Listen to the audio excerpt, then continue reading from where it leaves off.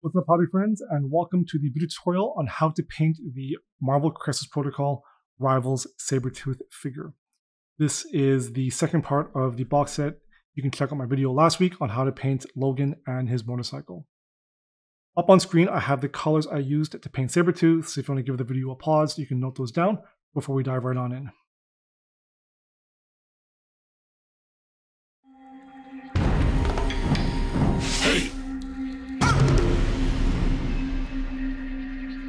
So the preparation for Sabretooth, I've chosen to sub-assemble the model I'm keeping the figure and the base separate so that I can get underneath. I can do any sort of dry brushing or painting on the log. Keep them separate just to make it easier to get the brush into all the nooks and crannies underneath as well as just on top of the logs. We'll keep them separate, paint everything, and then once we're done, assemble it all together at the very end. So what I'm doing is I'll use some Vallejo Surface Primer Black with the airbrush. I'll give this model a prime, and then we'll dive right on into the painting. In terms of color schemes, we're not actually going to follow the box art. My client has requested that I do black pants, black jacket, and then obviously his standard skin tone, blonde hair. I'm probably going to give the shirt a an ochre tan color, just as a nod to his more traditional suit color. I'll probably paint the pants in sort of like a black cargo material. And then I'll go for, I'm not sure if I want to do black leather or something with a little bit more of a, a rougher, like a patchier fur texture to the jacket. But I'll try and get some material separation there. I'll probably use two different color recipes as well. Probably a neutral or warm black for the pants, and then a cool black for the jacket paint the copper on the base. We're going to start with a base coat of African Shadow. And this is to help mirror the Logan figure and tie the two together. Make sure you apply a base coat very carefully over to the edges and not get anything on the blue. I'll highlight with AK's Saddle Brown, focusing on the front part of the curve and creating a blend towards the back. Our next highlight will be with AK's Deep Brown, Again, continuing to concentrate on the front where we want our brightest highlights to be, and then fading it towards the back of the figure.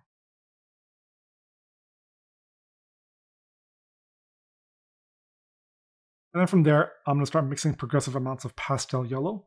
And once I get to about 50-50, I'm going to apply an edge highlight over all of the edges and corners of the copper.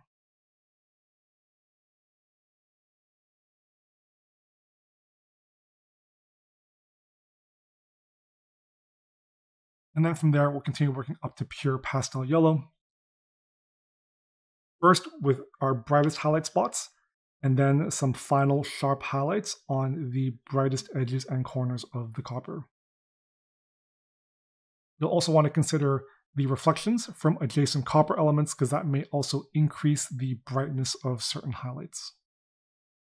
And then finally, I'm going to use some Games Workshop Nihilakh Oxide, and I'm going to apply some verdigris and some some rust and weathering. This color works really great on the mid and dark tones, so that's really where you should be focusing it and avoiding the highlighted areas. To base coat the tree, I'm going to use a 50-50 mix of Tenebrous Gray and Black Red. I'll apply a nice even base coat, being careful not to overpaint onto any of the copper or the blue elements. From there, I'll apply my first highlight of Black Red, and I'll create my highlights in the direction of the wood bark for this stage, I'm ignoring the individual um, textured elements of the bark and just focusing on the form. With this World War I French brown, again, following the direction of the sculpt of the bark is when I'll start to pick out the individual details of the texture.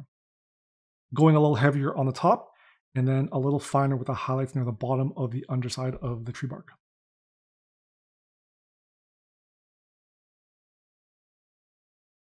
I'm also using a bit of a dotting dragging motion to help create a bit of unevenness in my highlights. On the side, in the heartwood of the bark, I want to apply a nice strong base coat of this French brown. From there, I'll use black red diluted and apply a few glazes to the mid and shadow tones of the bark, create a bit more of a, a blend or transition, and to soften some of those uh, textured highlights. Using number six Earth Yellow, I'm going to start to highlight the hardwood or the inside of the tree bark. And this is where we're going to start to create those, those rings that you typically see when you've got a fresh cut log. My next highlight will be with pure light earth, doing the exact same thing, um, focusing on creating and highlighting those rings.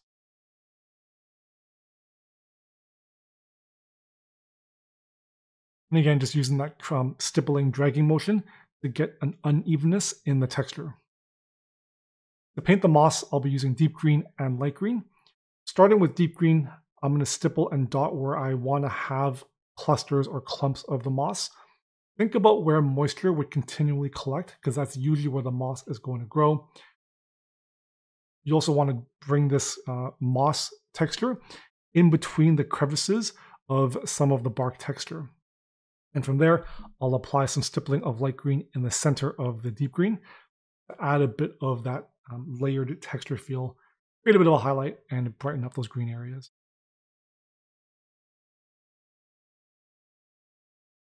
I'm going to use some reddish black to apply a base coat onto the skin.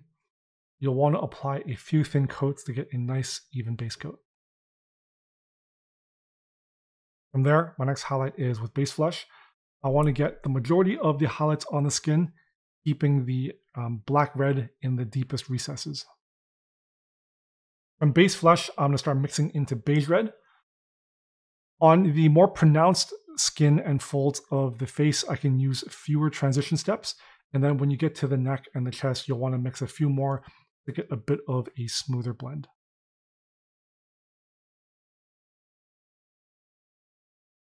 With pure beige red, I'm going to focus some bright highlights on the front of the skin. So we're looking at the, the tips of the nose, eyebrows, cheekbones, jowls, upper and lower lip, as well as the chin. I'm going to further highlight the skin by mixing in a bit of pale yellow into the beige red. And I'm going to really concentrate this on the more pronounced elements of the face.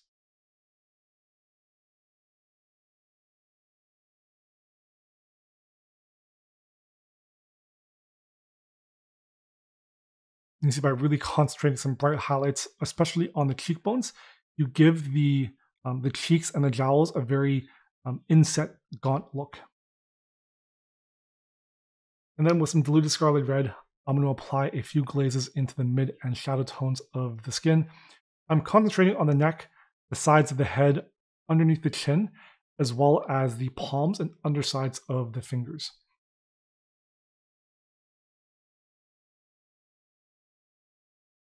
To paint the eyes and the teeth, I'm going to be using Tenebrous Gray to first base coat and fill in the sockets. I'm going to be using a very fine detail brush for this to avoid overpainting onto any of the skin. From there, I'm going to use white sands and I'm going to start to paint the teeth. So I'd initially painted each of the teeth individually, but it ended up looking a little bit too cartoony. And so I went back in, uh, particularly on the fronts, and just applied a few thin glazes to knock back some of the, the black lining and make it feel more natural and less cartoony. For the eyes, I'm going to do a white dot to fill in the eyeball, leaving a bit of the tenebrous gray to black line before going back in with some tenebrous gray to dot the pupil.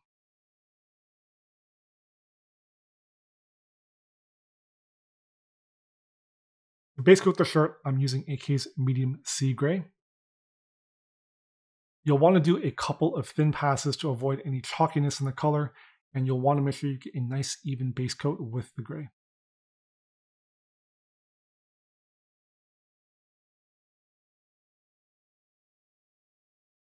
My next highlight will be with warm gray. And if you watched the Logan video, it's pretty much the exact same technique and the exact same color recipe.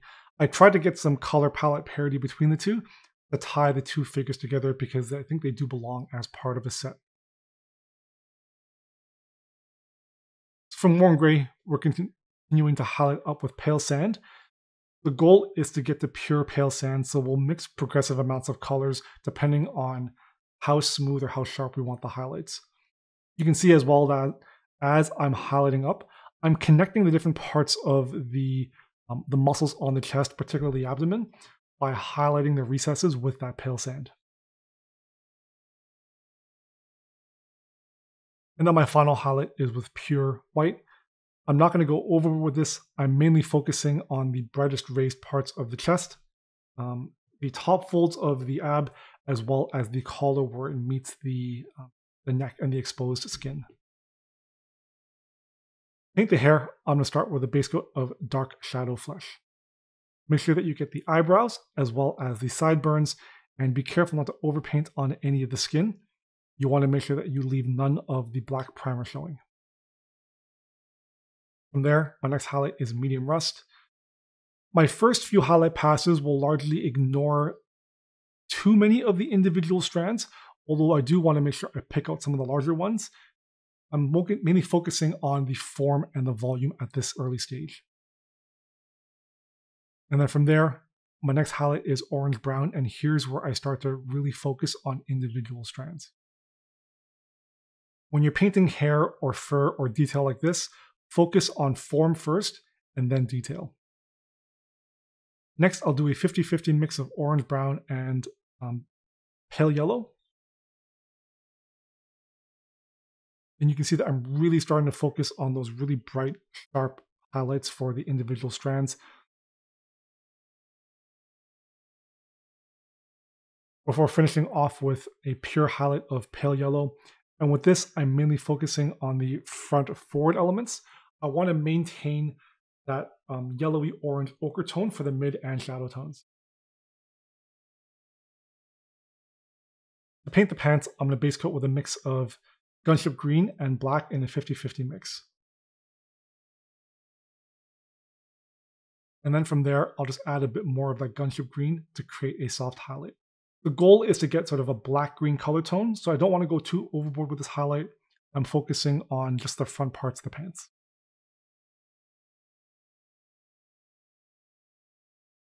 You can see I'm picking out the defined folds, especially on the bottoms, and I'm ignoring the, the seams on the sides of the pants for now because I intend to go back in and blackline them afterwards. And then with the airbrush, I'm going to go in with a 50-50 mix of the green and the black and just apply a glaze to help smooth those mid-tone and shadow tones and bring back some of that blackness in the shadow. You can do this by hand. I'm lazy and I prefer using the airbrush.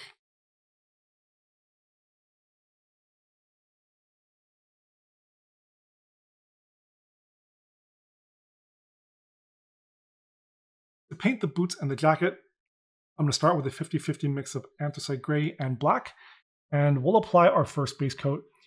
On the jacket, I want a worn, sort of cracked leather texture to it. So as I highlight, you're going to start to see that texture show through. Um, as I'm working my way up to pure anthracite gray as well, I'm using sort of this scratchy cross-hatch pattern to get that texture on the jacket. When I use this same recipe on the boots, my blends will be a little bit smoother to get a, a more polished black leather feel to it. In this way, I can use the same recipe on two different parts of the model and have, through the material finish, a bit of a separation in those two objects.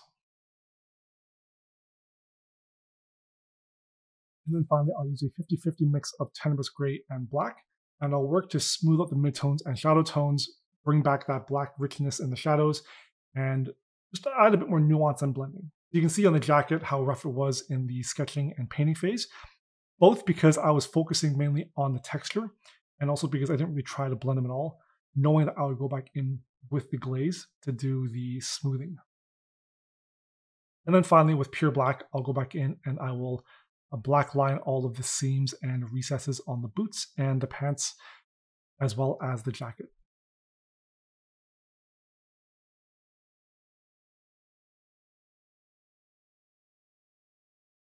Using black red, I'm going to apply a base coat over all of the straps. We're looking at the legs as well as the belt. From there, I'll use World War I French Brown and I'm just going to apply my next highlight straight. You can see that I'm applying my highlights in a horizontal pattern. Basically, I imagine the leather straps cracking over use, and that's where I'm capturing that texture from. And then finally, I'll use number six earth yellow and just apply a edge highlight over the leather straps, as well as the occasional scratch over um, just random surfaces to apply a bit more uh, texture and information.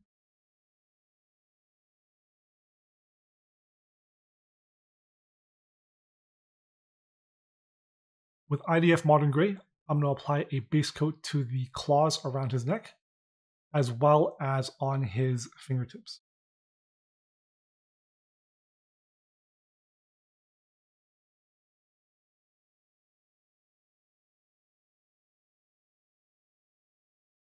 I'll use 728 Uncle Dunkelgelb Ausgabe 1944 to apply my next highlight. You can see here that I'm focusing on the top half of the claws. I'll also be tackling the belt buckle with this same recipe. My final highlight will be with warm gray, and I'm going to focus this on the top brightest parts of the talons. This is fairly similar to the shadow tone of the shirt, so you want to make sure that you're um, leaving that contrast and not having too much of the shadow tone of the shirt beside a bright highlight of the cloth. Paint the fur on the jacket. I'm going to start with a base coat of basalt gray. Just being careful not to overpaint onto the jacket, the shirt, or the skin. My first highlight will be with dark sea blue, or dark sea gray, sorry, and then much like with the hair, um, first I'm ignoring some of the finer strands and I'm focusing on the form of the fur. I'll use medium sea gray to form my next highlight, and as I work up, you can see that I'm starting to pick out the individual strand. You really want to make sure with hair and fur like this, not to get lost in the weeds. It's important to define the form and the volume of the shape before going for details. And then my final highlight on the fur will be with pale gray, I'm focusing this on the top part of the collar, the inside where it meets the face, and then on the hands on the top part as it wraps around to the underside.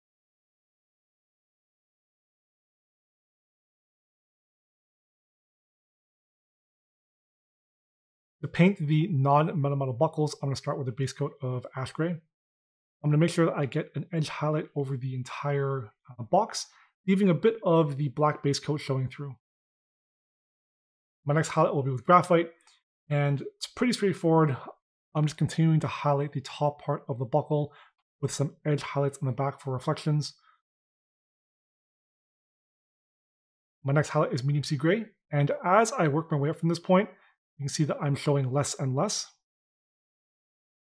From medium sea gray into pale sand, we're starting to get into our bright highlights, so I'm focusing more on the specular highlights on the front, um, less on the edging in the back, and then I'll finish off with some greenish white, bright specular edge highlighting on the top with a bright dot on the bottom corner.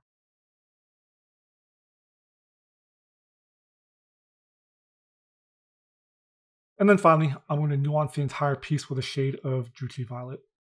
I'm using the airbrush for this. You can do this by hand. I'm focusing this mainly on the boots, the pants, and the jacket, as well as the skin and the hair. I want to be really careful not to overspray too much onto the fur of the jacket or on the white of his shirt.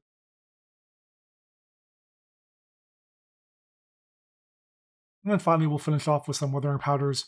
I believe this is a 50-50 mix of a burnt umber as well as a burnt red. Something to match the existing collection for my client. I'm focusing this color on the rubble where it meets the wood bark and then a little bit on the boots as well. When you're doing weathering powders like this, it's best to apply a little bit at a time. It's much easier to apply more powders than it is to try and take off powders once you've applied it. So less is more, um, build your colors up and just do it slowly in incremental values. Once I'm happy with the effect and the amount of weathering powders, I'll go back in with some mineral spirits I have in a spritzer bottle and I'll saturate the base. This will help to fix the powders to the base, secure it, and then I can go back in with my final layer of black paint to trim the base. And then I'll finish off the model with a coat of matte varnish. This is a gaming piece, so I want to make sure that it's suitably protected for handling. And that wraps up this video. Thanks so much for watching. I hope you enjoyed. If you did, make sure you give it a like and subscribe to the channel for more awesome weekly content. If you missed it, you can check out my last week's video, which covers how to paint Logan and his motorcycle from the same Rivals kit. I'll also have links to my other social media platforms in the video description below. And as always, until next time, happy hobbying.